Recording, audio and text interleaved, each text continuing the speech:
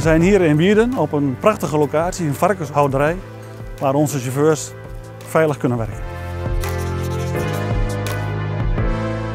Nou, terwijl u hier een van onze auto's op een hele mooie locatie ziet staan, is dit wel een van de meest optimale situaties die we tegen kunnen komen.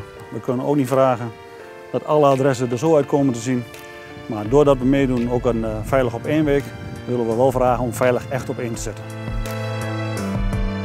Tijdens de Veilig op één week uh, geven wij mensen uh, de mogelijkheid om met een van onze chauffeurs mee te rijden.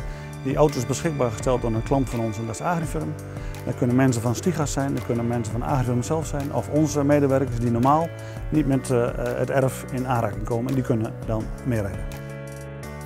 Veilig op één lijkt mij voor de hand liggend. Iedereen wil graag s'avonds thuiskomen.